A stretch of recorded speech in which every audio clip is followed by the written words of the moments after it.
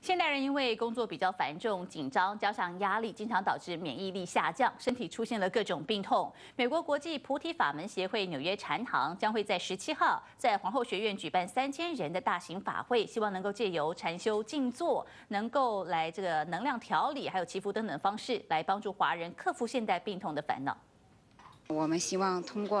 嗯这样的大型活动，能够给纽约的大众。带来身心的健康，呃，让大众呢能感受这个禅修带给我们身心的利益，呃，以及呢，呃，希望通过这样的活动呢，能够掀起大众对身心健康的关注。